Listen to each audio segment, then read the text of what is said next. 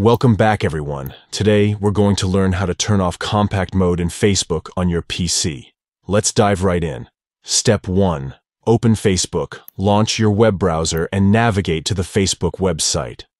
Step 2. Look for your profile picture on the top right corner of the screen. Click on it to access the drop-down menu. Step 3. From the options available, select Display and Accessibility. This will take you to the settings related to the appearance and accessibility of your Facebook account. Step 4. Here, you'll find the Compact Mode option. Click on it to open the settings. Step 5. Finally, you'll see a toggle switch for Compact Mode. Make sure to click on it to turn it off. And that's it. You've successfully turned off Compact Mode in Facebook on your PC. Enjoy a more spacious and comfortable browsing experience.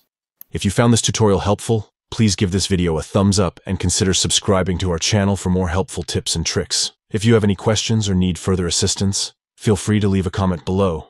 Thank you for watching, and we'll catch you in the next video.